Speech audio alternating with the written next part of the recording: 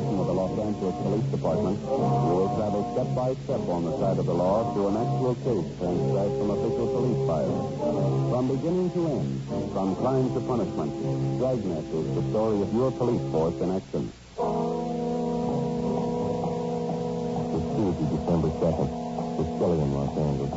We were working a day watch at a robbery detail. My partner's Ben Romero. The boss is Captain Didion. My name's Friday. It was 1.48 p.m. when I got to the basement of the city hall. The car please. Joe, over here. Yeah, right. Oh, hi, Joe. This is from Douglas, is that right? Yeah. Better take Beverly Boulevard out, huh? Right. Want to get the radio? Yeah, all right. No report yet? No, he got away on foot. He headed down 6th Street after the holdup, lost himself in the crowd. Better watch it, then. Oh, yeah. How'd the thief work it? Did you get the store? Well, there's not much to tell. He walked in the store at the right time, pointed a gun, grabbed a tray full of diamond rings, and walked out. $5,000. Figure he must have had the jewelry store pretty well cased. Sounds like he's had practice. Well, could be. But sure, one thing, he's well armed. Attention all units, all units. At third and Bixel, third and Bixel, You get it up, huh? Yeah. man with a gun. All units at third and a traffic accident, a man with a gun. Code green, KMH 67. Well, if we can roll on it, huh? Right, that's big to just ahead. Yeah, I'll call in. 80K to control one. 80K to control one. Control 1, 30K, go ahead. 80K out for investigation. Third and Bixel. KMH 67. Roger 80K, code 6 to third and Bixel, KMH 67. That must be it up ahead, Joe. Yeah. Right in the middle of the intersection there, a car turned over, huh? Mm-hmm. Let's ought to do it? Yeah. Let's go. Man stretched out on the street over there, but sure. Yeah. I wonder if we can get through here, please. Excuse me, please. Let us through, please. So let's don't just stand around looking. If somebody call the police yet? Excuse me. You involved in this? Sure, I was in it. Did anybody call the police? We're police officers. What happened? Oh, I'm too glad to see you. Awful lot of trouble. Yeah. How about this man here? What happened? Oh, I slugged him. I had to. What do you mean? Well, I don't know what happened. He went a little crazy, I guess. He pulled this gun on me. How is he, Jeff? Oh, he got a bump on the head. He seems to be all right otherwise. What's your name? Ernie Brooks. Uh, that truck over there, that's what I was driving. I was coming down Third Street, and I stopped at the red light over there. Uh, that corner over there? Yeah. And uh, when the light turned green, I started across the intersection. I side, it ran here, came barreling down Bixel, went right through the red light, hit the front of my truck. Flipped this car right over on the side, just like a shoot. Yeah, go ahead. Well, the guy went a little crazy, I guess. Uh, right after the crack-up, I pulled the truck to the curb and got out. This fellow here was just climbing out of the top side of his car. Didn't seem hurt at all. Yeah, huh? Well, when he saw me coming over to him, he pulled a gun and pointed it at me. Then he turned and started running. I couldn't figure it out. What'd you do? Well, as soon as he turned his back to run, I went for him and tackled him. Fought like a tiger. That's why I say I slugged him. I, I had to, officer. There's something awful funny about the whole thing. The way. Well, look here. There's spots right here. It fell out of his coat when I slugged him. You take a look. Yeah? Here. Must be three, four dozen in there. Rings, all kinds. Yeah. Looks like diamonds in them, doesn't it? The ambulance arrived and we took the unconscious fuel robbery suspect to Georgia Street Receiving Hospital. After he was revived and treated for cuts and bruises, we took him back to the city hall at the interrogation room. He fitted the description of the jewelry store bandit almost exactly. He refused to talk. He wouldn't even give us his name. We had his fingerprints taken, and then we had them checked through R&I. The man was identified as Vernon Albert McCauley, an ex-convict out of Folsom and a two-time loser. He served one five-year term for armed robbery and another three years for ADW. We checked out the wrecked car he'd been driving and found out that it had been stolen two blocks from the scene of the holdup. We had the manager of the jewelry store which had been robbed brought downtown. He identified Nicoli as the bandit. The suspect still refused to talk. Ben and I took him to the main jail, where he was booked on suspicion of 211 PC. 4.15 p.m. We checked back in at the office. Takes some of them a long time to learn. Yeah, two-time loser. This one ought to finish him. I can't figure. He's been out of post in seven months and going right back in again. Yeah. Well, we can get the complaint from the DA tomorrow and set the arraignment for Thursday. Yeah. Maybe check with the manager of the jewelry store first. I wonder if Nicoli could have been in on those gas station holdup, remember? Last month? Yeah. Well, we'll have him in the show up Thursday and see what happens. You want to take care of the arrest report? Yeah, I'll get out an APB, too. Might turn up some outside jobs on him. I'm feeling hungry. You still got that candy bar from lunch? Yeah, I think so. Don't worry, Yeah, here you go. Uh-huh. What's the matter with you lately, anyway? I don't know. Been eating like a horse, down town. I'll stop. I'll get it. What do you got, Joe? Minute. Oh, that does it. What? Nicoli. He escaped. Broadcast and an all-points bulletin were gotten out on Vernon Nicoli. All units in the vicinity of the escape were alerted. An hour passed. There was no report on the suspect. We checked with the main jail and got the details on the escape. They told us that while Nicoli was being locked up in his cell, he pushed his fingers into the door jamb and had them badly mashed when the cell door closed on them. Both of Nicoli's wrists were then handcuffed, and along with two other ailing suspects, he was taken over to Georgia Street Receiving Hospital by a pair of transportation officers.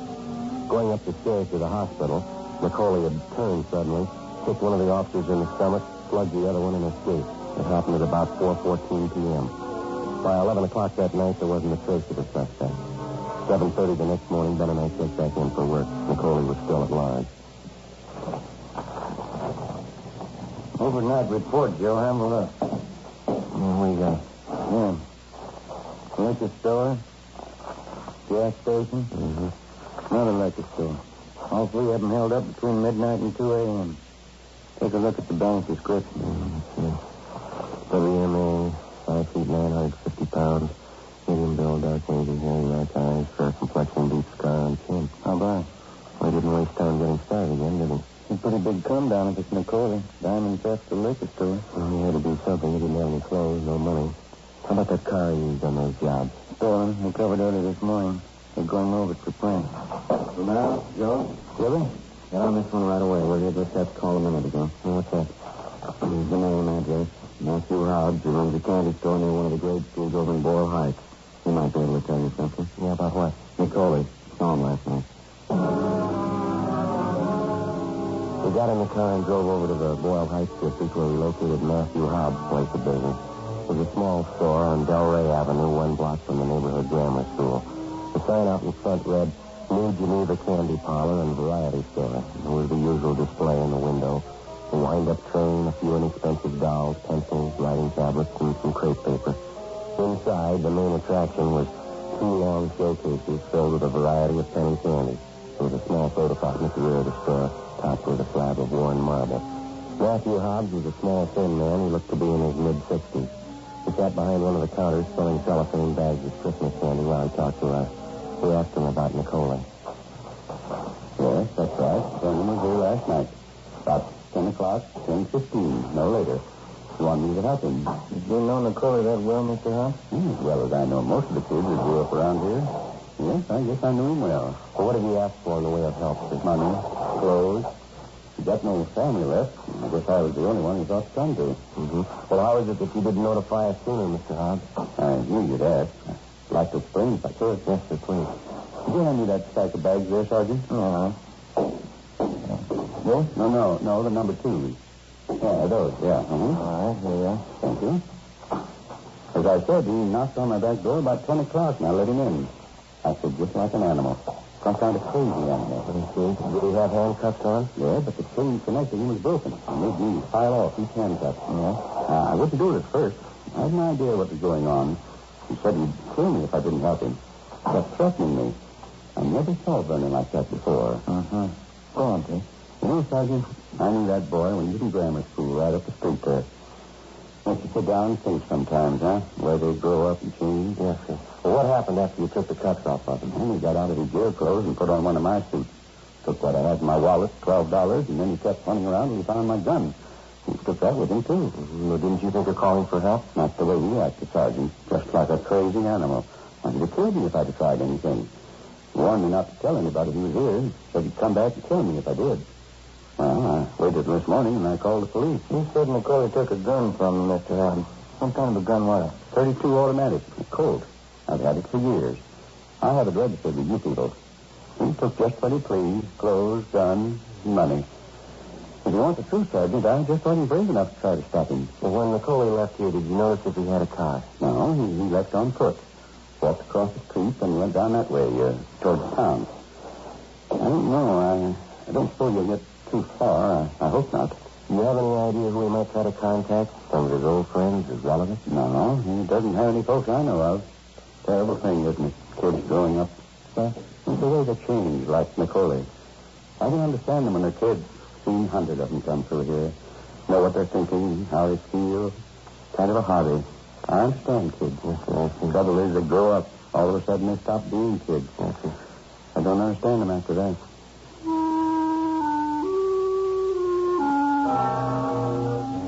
After we left the candy store, we went back to the office and got out a supplementary APB containing a description of the suspect's clothing and the gun that he'd stolen.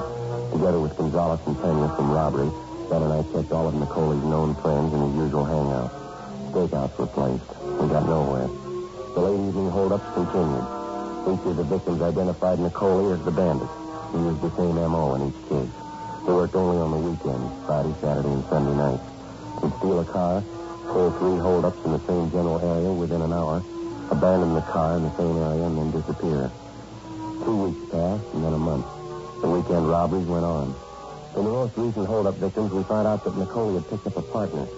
We checked the man's description through his staff's office. Each of the stolen cars used by the suspects and then abandoned were checked for prints. We failed to identify the second man. The holdup continued. Nicoli and his partner were still at large. Monday, January 26, 8.30 a.m. Ben and I met with Captain Didion.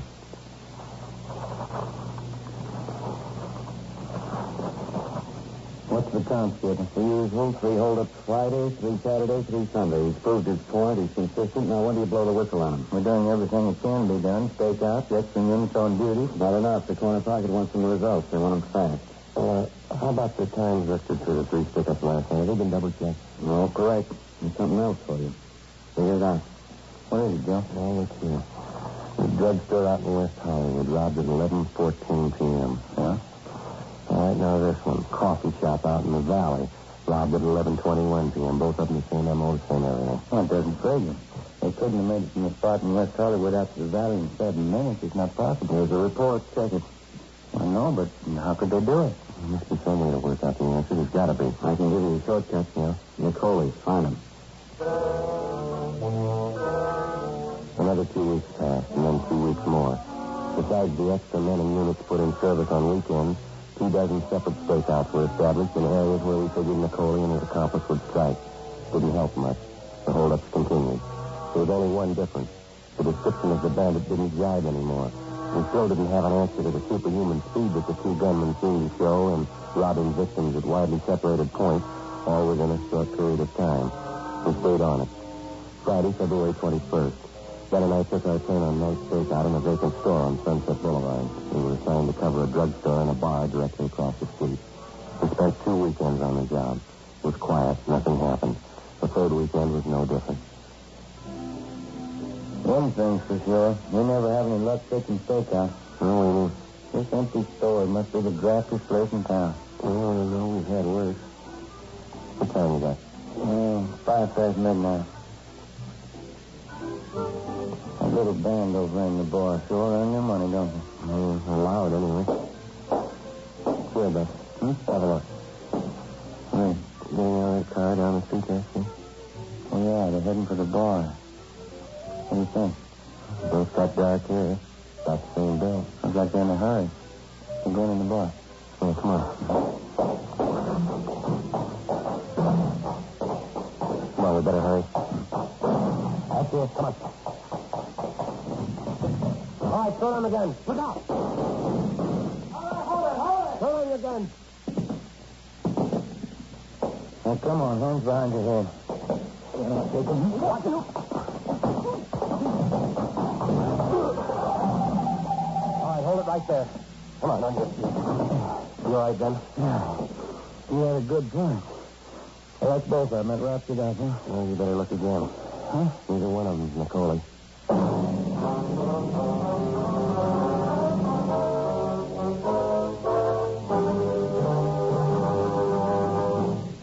Listening to Dragnet, a series of authentic case histories documented from official files.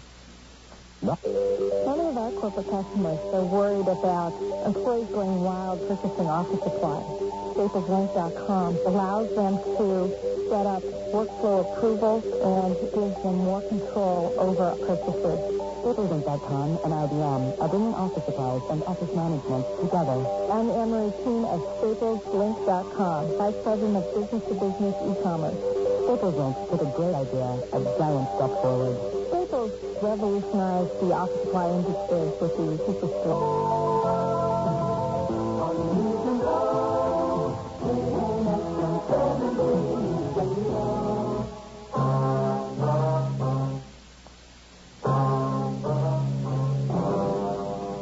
February 22nd. Ben and I took the two robbery suspects downtown to the city hall to the interrogation room. We checked them through R and found that they both had records for burglary and grand theft auto. The car that they'd been using that night had been stolen. After two and a half hours of interrogation, one of the suspects, a P. Albanese, decided to break down and cooperate. 1 a.m., the interrogation room. I get something out of it, don't I? Helping you. You know, don't forget to help you when you get me in court. Most people know about it, Pete. And be making your report. Now, what's your story? I knew I never should have went for it. Believe me, it won't happen again. McCauley, he talked me into it. Talked into what, Pete? Helping him on those pickups.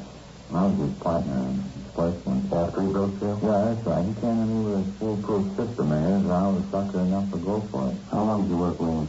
Just a couple of weekends. Three, four, maybe. I didn't get along with him. No, nobody gets along with him. He's a little crazy, I think. Who's working with him now? Oh, I don't know. He's had two, three different guys. I don't know who's with him. Say, Sergeant, can I have a drink of water, please? Right, I'll get you some,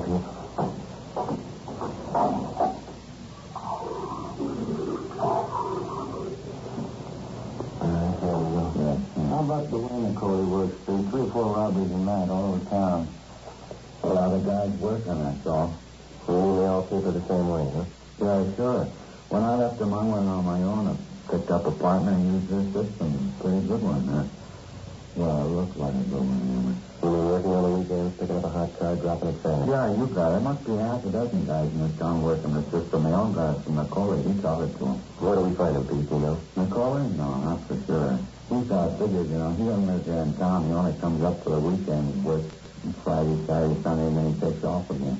Takes off for work. Went down by the border someplace, Palm City, Tijuana, I'm not sure. You know, don't forget I'm helping you, huh? You'll let him know I cooperated. Yeah, we'll let him know, Pete. Now, when's the last time you saw Nicoli, huh? Oh, it's been a month anyway. I never want to see him again. So this may help you, though. I, I know where his girlfriend stays. Yeah? Probably on South Rampart. I can give you the address. She probably goes her once in a while. Mm-hmm. Anyone else you can think of? No, that's about it. There won't be any pushover, Sergeant. Like I said, I think he's a little crazy. It's not going to be an easy one to take. Well, we'll give it a try. Oh, I mean it that way. He's wild, but you'll get him, I guess.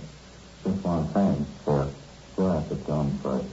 3.45 a.m. Pete Albanese and his accomplice were booked at the main jail on suspicion 211 PC. The next morning, Ben and I checked out the address of Nicoli's girlfriend, which Albanese had given us. The girlfriend's name was Esther Revard. She told us that she hadn't seen Nicoli in more than two weeks. We asked her if she knew where the suspect stayed when he was in town. She gave us an address on South Pico. We called in and arranged for a stakeout on the girl's place, and, and we drove over to check the address that she'd given us. Was a small apartment court on the edge of the industrial district. Nicoli wasn't there, neither was the manager. We talked to one of the tenants who told us that the manager, um, Mrs. Clara Fontaine, was out of town. He said that while she was gone, her daughter Norma was looking after the place. The daughter was employed as a secretary at the Blue Cross Hospital Plan office over on Wilshire Boulevard. We called the office and arranged for another stakeout at the apartment court. 1.25 p.m. We located the landlady's daughter at the Blue Cross office on Wilshire. We showed her Nicoli's mugshot. Oh, poor thing. One of Mama's tenants, Mr. Reynolds. He's in bungalow five. Anyone staying with him or something? No one registered with him, no. He has visitors, though. Is there something wrong? Well, when did you see this man last? This morning. When I was leaving for work, he was outside working on his car. Would you excuse me, please? Sure, go ahead. Blue Cross? Yes, sir? I see. No, just address the letter to Blue Cross Hospital, son. You can send it to us here at the Wilshire office. That's right. Well, you're welcome. Yes, sir. I hope it's going to see. You told us that you saw this man working on his car this morning. Oh, yes, he was uh, parked right outside in front. I couldn't very well miss it. I'm going to tell Mama about it when she gets home. What's that, man? Uh, it was certainly strange because it's not that time of year. That's why I noticed it. What's that? Uh, he was changing the license plate on his car. Did you get the numbers? It's right here in my purse. 1.32 p.m. With the information furnished us by the girl, Ben got on the phone and called in a description of the suspect's car, together with the two sets of license numbers. It was a 1941 Ford sedan, dark blue, white sidewall tires. Communications got out a broadcast and a supplementary APB on it. At 6 p.m., Ben and I relieved the men on a stakeout at Nicoli's apartment. We waited. No sign of him. We checked with the office on the hour. No sign of the car. 10 p.m. Still nothing doing. 11 o'clock. Nothing. Gonzalez and Pena from robbery drove out and relieved us, and we headed back to the office. 11.26 p.m. What do you think? I don't know. It's every hole I can think of. Things due for a break, isn't it? Overdue. I could use some sleep. Yeah. Wasn't it? Right. Yeah, right away. Skipper? Hi. Here's one to move on. Yeah? Carlson Beacon, southeast corner. What is it? Nicoli's car. They got it spotted. 11.56 p.m. Ben and I drove to the vicinity of 12th and Beacon, where we checked with the men in Unit 80K who'd spotted the car. They'd gotten out a code 5 on it. The description matched perfectly. A 1941 Ford sedan, dark blue, white sidewall tires. The license number was one of those given us by the apartment manager's daughter that afternoon. Together with the two men in 86K, we staked out on the suspect's car at a distance. It parked almost exactly in the middle of the block. About 20 feet behind it, a red and white delivery truck was parked. The street was fairly deserted. The only place of business open was a small corner bar at the far end of the block. 12.30. 1 a.m. No one came near the dark blue sedan. We waited. 2 a.m. The corner bar closed up. A man came out, got in the red and white delivery truck, and drove off. 2.30 a.m. The dark blue sedan was still sitting there. We kept waiting. Roger 13 hour, code 7.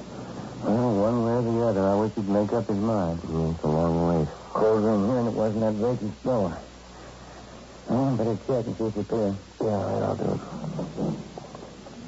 80K to control one. 80K to control one. Control 1 to 80K. Go ahead. 80K to control one. Uh, we clear. Control 1 to 80K. Stand by. Oh, you on smoke? Mm, I'm out. You too? Yeah. I guess we do without. Yeah. Control 1 to 80K. Control 1 to 80K. You're cleared. Code 1, KMA 367. 80K to control one, Roger. KMA 367. Now, have a look, Joe. Just turn the corner. Where? Far end of the block, opposite side. Heading up this way. Yeah. You make out two of them there? Mm-hmm. The two? They're passing by the sedan. Oh. No, are they? Oh. We're getting there, aren't they? Mm-hmm. Come on. Spotted us, Joe. They're getting out. All right, hold it there, both of you. Down, Joe. Give it up, Nicoli. Behind that car. Mm-hmm. All right, hold it. Don't shoot, don't. Throw out your guns, both of you. Harry, don't shoot. Throw out your gun. They'll kill him. Get up, Harry. They'll kill him. Come on, throw them out. Don't shoot. Here's my gun. Don't shoot. One of them. Come on, Harry. You got it. Get up. That's two. Let's go. Yeah, careful. There's a gun. Don't shoot. I got my hands up. All right, keep them up. Okay, I will. Just don't shoot. I didn't use my gun. Harry did. I tried to tell him you heard me. You heard me. Heard me say not to shoot. Check my gun. I didn't shoot at you. Come on. Get him out in front of you. I'll get you. All right. Come on, officer. third time for me. All right, it. Okay, Joey, ready? Let's go. Please, huh? Give me a break. You picked the wrong time to cry, mister. Please, huh? This is the third time for me. I'm no good in that. You had your chances. You kicked them away. Let's make a deal, huh? I'm no good in jail. No good at all. No better out here.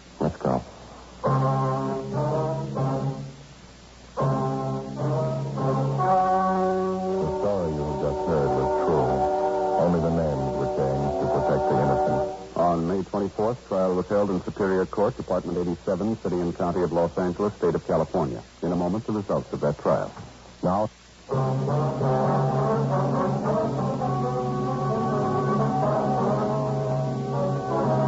Vernon Nicoli and his accomplices were tried and convicted on several counts of first-degree robbery. They received sentences as prescribed by law and are now serving their terms in the state penitentiary.